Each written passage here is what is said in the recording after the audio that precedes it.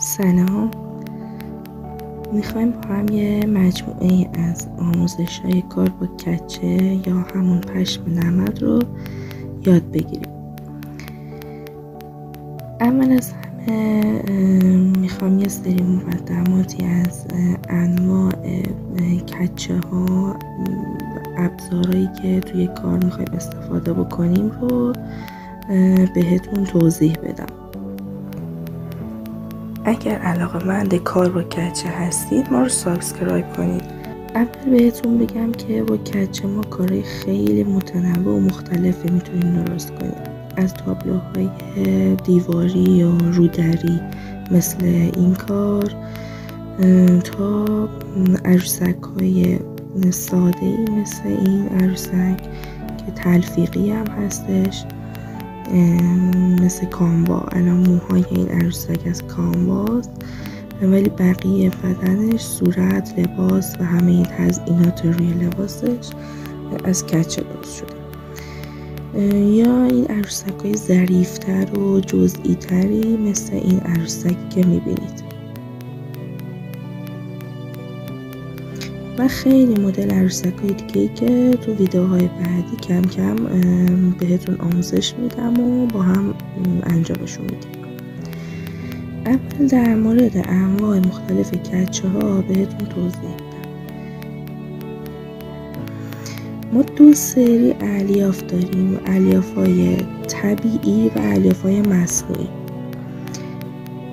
الیاف طبیعی زیبرتر و زخیمترن. خیلی جنسشون به پشم گوسفند نزدیکه. بافتشون درشتره موهاش درشتره. ولی این الیاف مصنوعی نگه نگاه کنید بافتش ریزتره براقتر و نرمتر و صافتره. مثل موی اتو کشیده میمونه. یعنی از لحاظ نرمی و زبری این الیاف مصنوعی خیلی نرمتر از الیاف طبیعی موی این الیاف مصنوعی نازکتر از طبیعی است.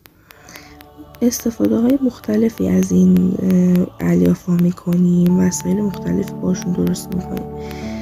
ولی به طور کلی با الیاف های طبیعی کارتون خیلی واقعی تر و تمیزتر و قشنگتر در میاد. پس اگر اول کارتون هست مبتدی هستین و می‌خواد کارتون از صفر شروع بکنید بهتره که کارتون رو با این الیاف های طبیعی شروع بکنید. چون کار کردن باشون خیلی راحت از لحاظ هزینه و اقتصادی الیاف های طبیعی به صورت بسته ای توی بازار موجوده این بسته بندی که می‌بینید به این شکل هستش. که رنگ های مختلفی هم دارن طیف رنگشون خیلی زیاده. ولی الیاف های مصنوعی طیف رنگشون خیلی محدود تره شاید 5 6 تا تنوع رنگ بیشتر نداشته باشن و به صورت کیلویی توی بازار فروخته میشن. برای همین از لحاظ گرونی ارزونی خب این الیافایی که کیلویی هستن خیلی ارزون ولی به طور کلی خیلی با هم تفاوتی نمی کنن از این جهت که چون الیافای طبیعی بافتشون زخیم تره حجم کمتری یا توی کار استفاده می‌کنیم ولی الیاف های مصنوعی چون خیلی نازکترن و ظریفترن مجبوریم مقدار بیشتر و حجم بیشتری توی کار استفاده کنیم خودشون نشون بده. اگر الان مثالش هم بخوام بهتون بگم همین دوتا عروسکی که می‌بینید دقیقا این عروسک تمام بدنش از این الیاف مصنوعی ساخته شده. این یک عروسک از الیاف طبیعی ساخته شده. حالا وقتی داریم کار می‌کنیم وقتی یه عروسکی داریم با هم می‌سازیم خودتون متوجه میشید که کار کردن با این الیاف های مصنوعی خیلی سخت تره چون بافتشون ریزتر و ضعیفتره از زیر سوزن هی سور می‌خورن. بر همین اگر مبتدی هستید بهتره که کلا همین الیاف های طبیعی رو تهیه کنید و کار با اینا شروع کنید این از الیاف ها که توضیح دادم. حالا میریم سراغ سوزن ها ما الان توی بازار ایران دو مدل سوزن داریم. ظاهرشون کاملا شبیه همن.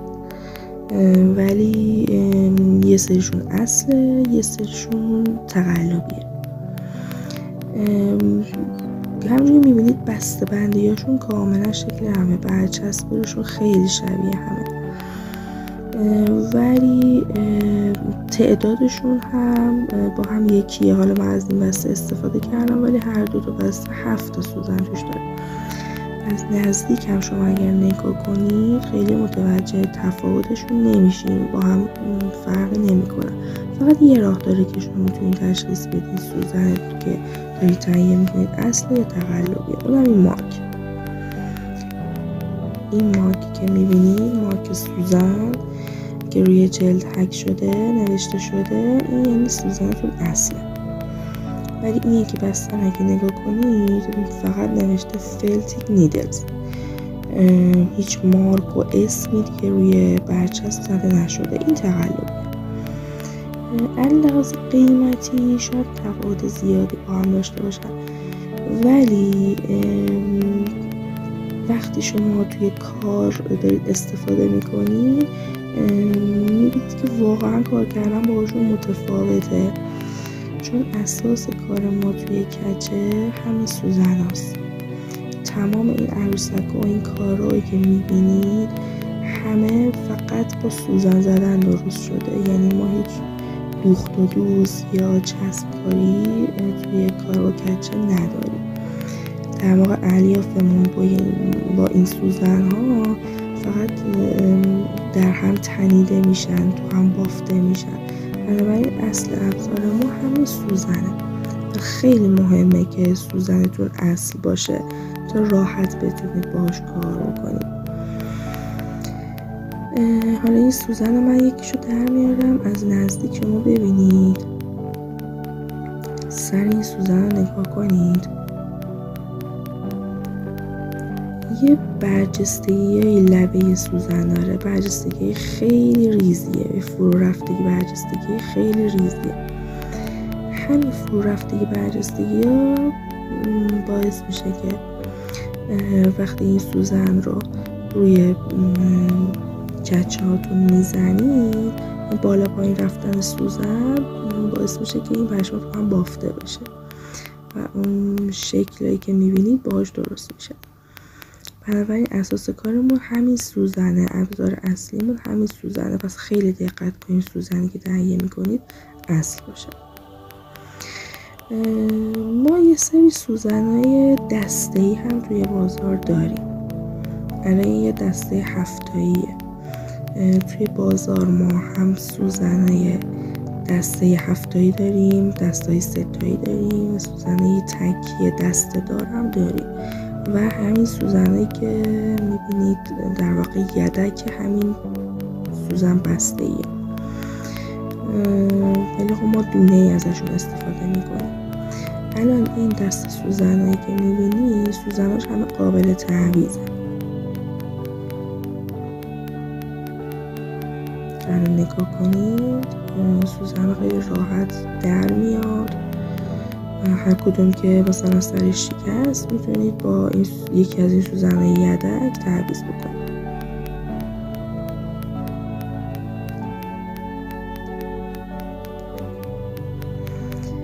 ما برای شروع کار یه بسته از همین سوزن هفته یدک برامون کافیه.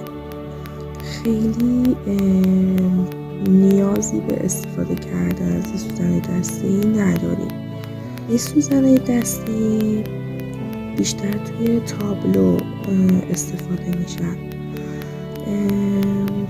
ولی همین کار تابلو رو باز با سوزن تکی هم می‌تونیم انجام بدیم. برای شروع کار پس خیلی نیازی نداریم که این سوزن دستی رو تهیه کنیم.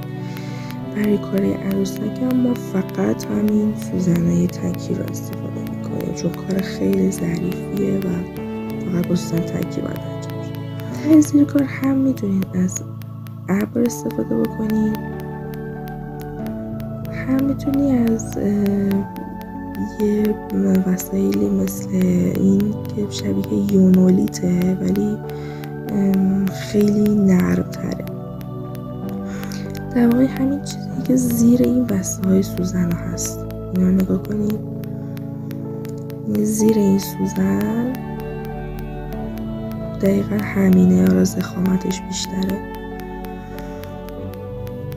از همین می‌تونید برای زیر دستتون استفاده بکنید مهم اینه که زیر دستمون باید نرم باشه. سر سوزنمون خیلی نازکن و به اول کارم اگر هستین ممکنه زیاد سوزن بشکنید چون فشار دستتون و زاویه دستتون تنظیم نشده. ممکنه سوزن زیاد بشکنید پس باید زیر دستتون نرم باشه. به جای این وصله از نمد هم می‌تونید استفاده کنید زیر دست من نمده. ولی اگر نمدم استفاده می‌کنید باید حتما روی یه چیز نرم باشه مثل همین ابر. یعنی روی میز نباید باشه. چون خیلی راحت با دو تا ضربه سر سوزنتون میشکنه. زیرش حتما باید نرم باشه. این کلیات کار ابزارهایی بود که ما توی کچه ازشون استفاده می‌کنیم. وسایل خیلی ساده ای خود کچه و اون چیزی که زیر دستتون نیاز دارید و سوزن. ابزار خاص دیگه نیاز نداره. گاهی برای بعضی از عروسک ها یعنی عروسک های آدمی که درست می‌کنید برای اسکلت بندیشون ما نیاز به یه چیز سیمانند داریم. که اینا بهترینشه به اینا میگن پیپ پاک کن که توی همه خرازی هم هستش. اسمشو بگین بهتون میدن و رنگ های مختلف هم داره که ما فقط همین سفیدش برامون استفاده میشه چون داخل کار داریم استفاده می‌کنیم. همین داخل دو دو عروسک اسکلتشون از همین پیپاک کن هست. این هر که نزدیک می‌بینید یه سیم کاملا قابل انعطافیه که هر شکل بخواید راحت می‌تونیم بهش بدیم. مثلا اگه بخوایم یه آدم درست بکنیم راحت اینو سرشو گرد می‌کنیم. یه پیچی بالا رو میدیم.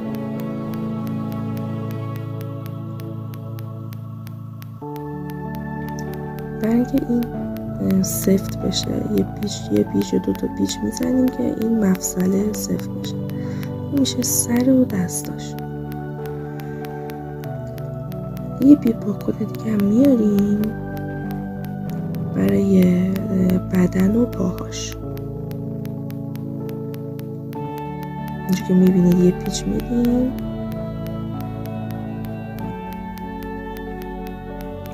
به این صورت.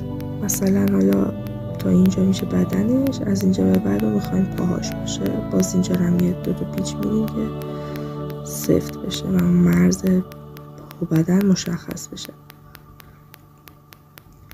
این دوتا میشه پاهاش. این اسکلت مثلا آدمی که درست شده. خوبیش چیه؟ فرقش با سیم عادی چیه؟ فرقش این پرزاییه که روش می‌بینید.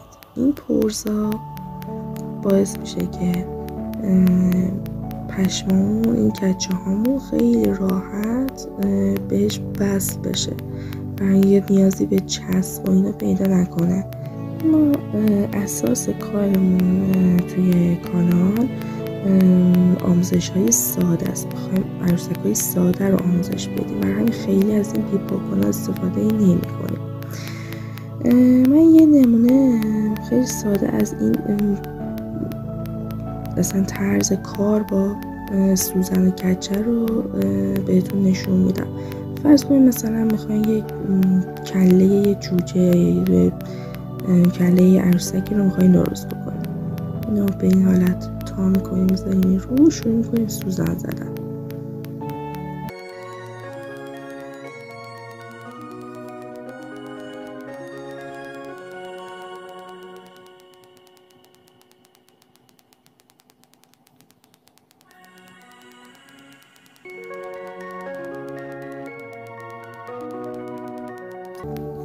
جاهایی که دستتون رو دو طرف کار می‌گیرید خیلی حواستون باشه که سوزن کج نشه توی دستتون بره چون قرص داره سوزن خیلی بد دستتون می‌بره. و همین اگر قراره که کار رو بچه ها انجام بدن خیلی باید حواستون باشه که این چه سنی هستن که کاملا این مهارت ریز سوزن زدن رو داشته باشن که به خودشون آسیبی وارد نکنن.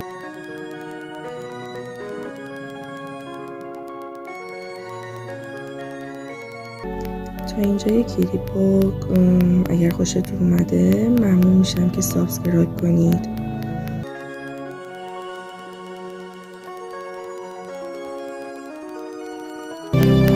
هر سوالی از ابزارهای کار با کچه یا خود کچه ها دارید حتما توی کامنت ها برای ما بنویسید.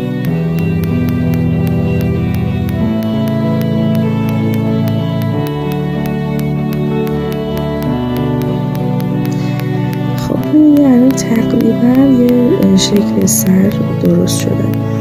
باز خیلی باید روش سوزن زده بشه که کامل این دورش گرد بشه و اون شکل تمیز خودش رو پیدا بکنه. من خواستم نمونه بهتون نشون بدم که ببینید چجوری این